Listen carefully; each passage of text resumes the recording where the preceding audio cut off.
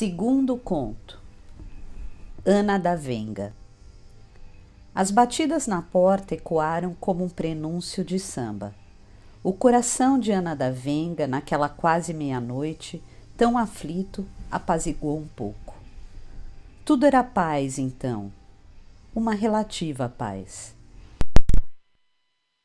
Deu um salto da cama e abriu a porta. Todos entraram, menos o seu. Os homens cercaram Ana da Venga. As mulheres, ouvindo o movimento vindo do barraco de Ana, foram também. De repente, naquele minúsculo espaço, coube o mundo. Ana da Venga reconhecera a batida.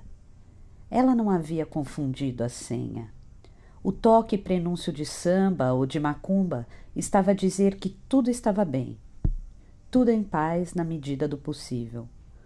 Um toque diferente, de batidas apressadas, dizia de algo mal, ruim, danoso no ar. O toque que ela ouvira antes não prenunciava desgraça alguma. Se era assim, onde andava o seu, já que o das outras estavam ali? Por onde andava o seu homem? Por que Davenga não estava ali? Davenga não estava ali.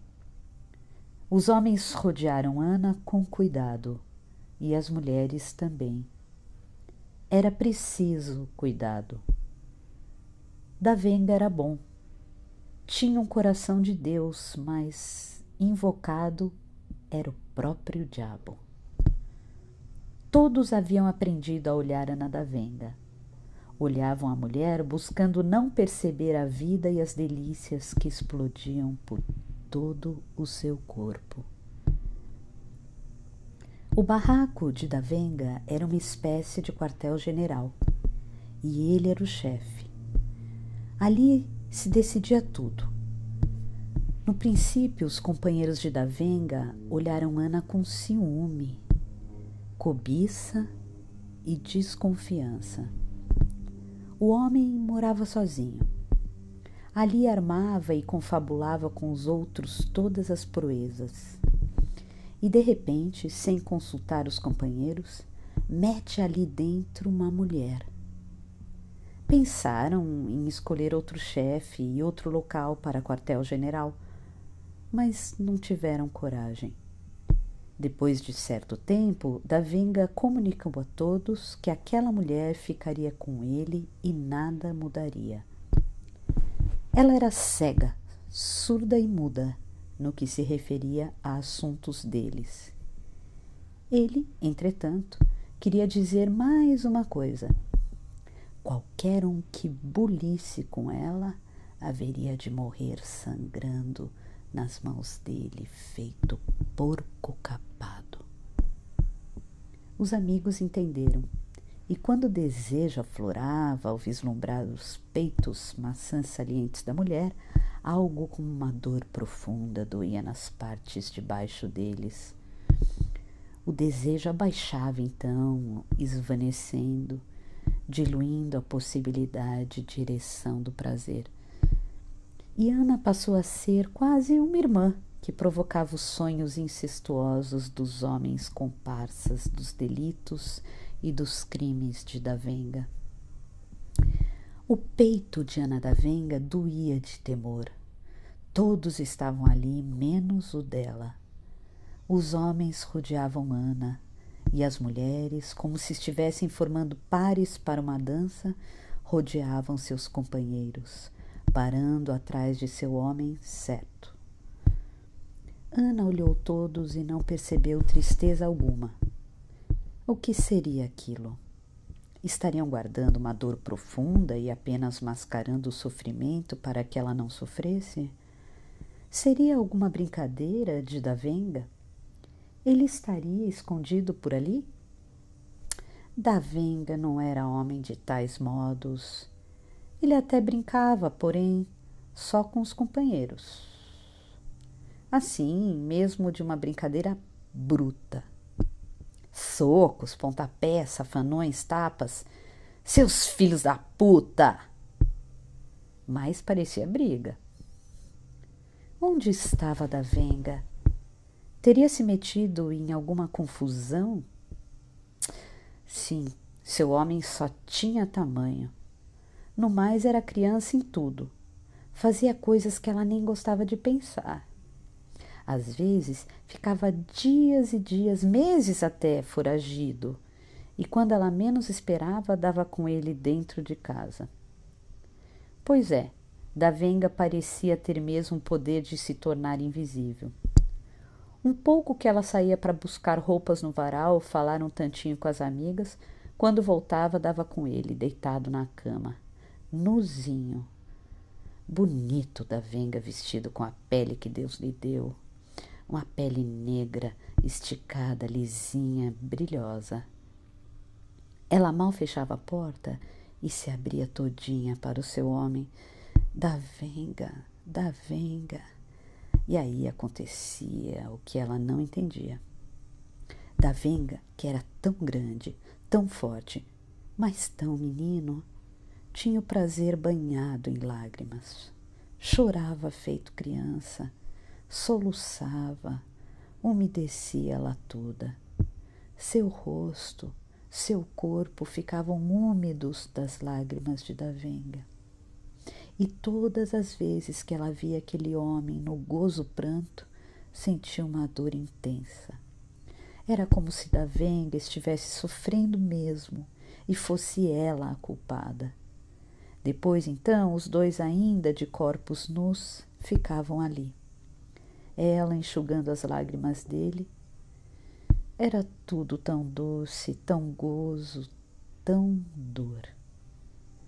Um dia pensou em se negar para não ver Davenga chorando tanto, mas ele pedia, caçava, buscava. Não restava nada a fazer a não ser enxugar o gozo pranto de seu homem. Todos continuavam parados, olhando na davenga. Ela recordou que uns tempos atrás nenhum deles era amigo, eram inimigos, quase. Eles detestavam Ana. Ela não, nos, ela não os amava nem os odiava. Ela não sabia onde eles estavam na vida de Davenga. E quando percebeu, viu que não poderia ter com eles indiferença. Teria de amá-los ou odiá-los. Optou por amá-los, então. Foi difícil. Eles não a queriam. Não era do agrado de nenhum deles aquela mulher dentro do quartel-general do chefe, sabendo de todos os segredos. Achavam que Davenga iria se dar mal e comprometer todo o grupo. Mas Davenga estava mesmo apaixonado pela mulher. Quando Davenga conheceu Ana em uma roda de samba, ela estava ali, faceira, dançando macio. Davenga gostou dos movimentos do corpo da mulher. Ela fazia um movimento bonito e ligeiro de bunda. Estava tão distraída na dança que nem percebeu Davenga olhando insistentemente para ela. Naqueles dias, ele andava com temor no peito. Era preciso cuidado. Os homens estavam atrás dele. Tinha havido um assalto a um banco e o caixa descrevera alguém parecido com ele. A polícia já tinha subido o morro e entrado em seu barraco várias vezes. O pior é que ele não estava metido naquela merda. Seria burro de assaltar um banco ali mesmo no bairro, tão perto dele. Fazia os seus serviços mais longe e, além do mais, não gostava de assaltos a bancos. Já até participara de alguns, mas achava o servicinho sem graça. Não dava tempo de ver as feições das vítimas. O que ele gostava mesmo era de ver o medo, o temor, o pavor nas feições e modos das pessoas. Quanto mais forte o sujeito, melhor. Adorava ver os chefões, os manda-chuvas se cagando de medo, feito aquele deputado que ele assaltou um dia. Foi a maior comédia. Ficou na ronda perto da casa do homem. Quando ele chegou e saltou do carro, Davenga se aproximou. Pois é, doutor, a vida não tá fácil. Ainda bem que tem homem lá em cima como o senhor defendendo a gente, os pobres. Era mentira. Doutor, eu votei no senhor. Era mentira também. E não me arrependi. Veio visitar a família? Eu também estou indo ver a minha e quero levar uns presentinhos. Quero chegar bem vestido, como o senhor. O homem não deu trabalho algum. Pressentiu a arma que Davenga nem tinha sacado ainda, e quando isto aconteceu, o próprio deputado já tinha adiantado o serviço, entregando tudo. Davenga olhou a rua, tudo ermo, tudo escuro, madrugada e frio. Mandou que o homem abrisse o carro e pediu as chaves. O deputado tremia, as chaves tilintavam em suas mãos. Davenga mordeu o lábio, contendo o riso. Olhou o político bem no fundo dos olhos, mandou então que ele tirasse a roupa e foi recolhendo tudo. Não, doutor, a cueca não. Sua cueca não. Sei lá se o senhor tem alguma doença ou se tá com o cu sujo. Quando arrecadou tudo, empurrou o homem para dentro do carro, olhou para ele e balançou as chaves. Deu um adeus ao deputado que correspondeu ao gesto. Davenga tinha o peito explodindo em gargalhadas, mas conteve o riso. Apertou o passo, tinha de abreviar, eram três e quinze da madrugada. Daí a pouco passaria por ali uma patrulhinha. Dias atrás ele havia estudado o ambiente. Foi por aqueles dias do assalto ao deputado que Davenga conheceu Ana. A venda do relógio lhe havia rendido algum dinheiro, fora o que estava na, fora o que estava na carteira. E de cabeça leve resolveu ir com os amigos para o samba. Sabia, porém, que devia ficar atento. Estava atento, sim. Estava atento aos movimentos e à dança da mulher. Ela lhe lembrava uma bailarina nua, tal qual a que ele vira um dia no filme da televisão. A bailarina dançava livre e solta na festa de uma aldeia africana. Só quando a bateria parou foi que Ana também parou e se, e se encaminhou com as outras para o banheiro. Davenga assistia a tudo. Na volta, ela passou por ele, olhou-o e deu-lhe um largo sorriso. Ele criou coragem. Era preciso coragem para chegar a uma mulher mais coragem até do que para fazer um serviço. Aproximou-se e convidou-a para uma cerveja. Ela agradeceu. Estava com sede, queria água e deu-lhe um sorriso mais profundo ainda. Davenga se emocionou. Lembrou da mãe, das irmãs, das tias, das primas e até da avó, a velha Isolina daquelas mulheres todas que ele não via há muitos anos, desde que começara a varar o mundo. Seria tão bom se aquela mulher quisesse ficar com ele, morar com ele, ser dele na vida dele. Mas como? Ele queria uma mulher, uma só. Estava cansado de não ter pouso certo. E a mulher que lhe lembrava a bailarina nua havia mexido com ele, com alguma coisa lá dentro dele. Ela lhe trouxera a saudade de um tempo paz, um tempo criança, um tempo Minas. Ia tentar, ia tentar. Ana, a bailarina de suas lembranças, bebeu água enquanto Davenga enamorado tomava cerveja sem sentir o gosto do líquido. Quando terminou, pegou na mão da mulher e saiu. Os amigos de Davenga viram aquela viram quando ele, descuidado de qualquer perigo, atravessou o terreiro da roda de samba e caminhou feito namorado, puxando a mulher pela mão, ganhando espaço lá fora, quase esquecido do perigo. Desde aquele dia, Ana ficou para sempre no barraco e na vida de Davenga. Não perguntou de que o homem vivia. Ele trazia sempre dinheiro e coisas. Nos tempos em que ficava fora de casa, eram os companheiros dele que, através das mulheres, lhe traziam sustento. Ela não estranhava nada. Muitas vezes, Davenga mandava que ela fosse entregar dinheiro, coisas para as mulheres dos amigos dele. Elas recebiam as encomendas e mandavam perguntar quando e se seus homens voltariam. Davenga às vezes falava do regresso, às vezes não. Ana sabia bem qual era a atividade de seu homem, sabia dos riscos que corria ao lado dele, mas achava também que qualquer vida era um risco e o risco maior era o de não tentar viver. E naquela noite primeira, no barraco de Davenga, depois de tudo, quando calmos e ele já de olhos enxutos, ele havia chorado copiosamente no gozo pranto. Puderam conversar. Ana resolveu adotar o nome dele. Resolveu então que a partir daquele momento se chamaria Ana da Venga. Ela queria a marca do homem dela no seu corpo e no seu nome. Davenga gostara de Ana desde o primeiro momento até o sempre. Dera seu nome para Ana e se dera também. Fora com ela que descobrira e começara a pensar no porquê de sua vida. Fora com ela que começara a pensar nas outras mulheres que tivera antes, e uma lhe trazia um gosto de remorso.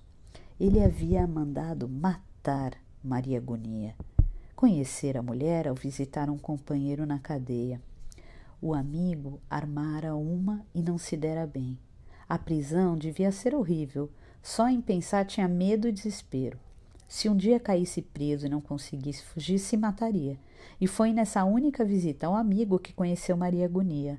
Ela vivia dizendo da agonia de uma vida sem o olhar do Senhor. Naquele dia, quando saíram da cadeia, ela veio conversando com Davenga. Era bonita, usava uma roupa abaixo do joelho, cabelo amarrado para trás, uma voz calma, acompanhada de gestos tranquilos. Davenga estava gostando de ouvir as palavras de Maria Agonia. Marcaram um encontro para o domingo seguinte na praça. Quando ela chegou, o pastor falava e Maria Agonia estava com a Bíblia aberta na mão. Davenga observava os modos contritos da mulher, ela, ao levantar os olhos e perceber o olhar dele, piedosamente abaixou a cabeça e voltou ao livro. Ele saiu e se encaminhou para o botequim em frente. Ao acabar a pregação, ela saiu do meio dos outros, passou por ele e fez um sinal. Ele foi atrás. Assim que todos se dispersaram, ela falou do desejo de estar com ele. Queria ir para algum lugar sozinhos. Foram e se amaram muito. Ele chorou como sempre. Esses encontros aconteceram muitas e muitas vezes. Primeiro a praça, a pregação, a crença. Depois tudo no silêncio, na moita, tudo escondidinho. Um dia ele se encheu. Propôs que ela subisse o morro e ficasse com ele, corresse com ele todos os perigos, deixasse a Bíblia, deixasse tudo. Maria Agonia reagiu. Vê só se ela, crente, filha de pastor instruída, iria deixar tudo e morar com um marginal, com um bandido. Davenga se revoltou. Ah, então era isso? Só prazer? Só o gostoso? Só aquilo na cama? Saiu dali, era novamente a Bíblia? Mandou que a mulher se vestisse. Ela ainda se negou, estava querendo mais, estava precisando do prazer que ele, só ele, era capaz de dar. Saíram juntos do motel. A certa altura, como sempre, ele desceu do carro e caminhou sozinho. Não havia de ser nada. Tinha alguém que faria o serviço para ele. Dias depois, a seguinte manchete aparecia nos jornais. Filha de pastor apareceu nua e toda perfurada de balas. Tinha ao lado do corpo uma Bíblia. A moça cultivava o hábito de visitar os presídios para elevar a palavra de Deus. Por mais que Ana da Venga se esforçasse, não conseguia atinar com o porquê da ausência de seu homem.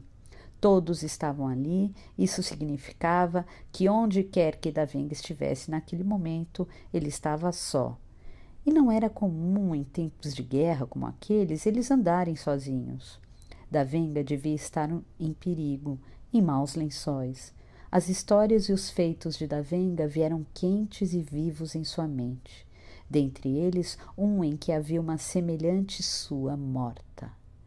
Nem no dia em que Davenga, de cabeça baixa, lhe contara o crime, ela tivera medo do homem.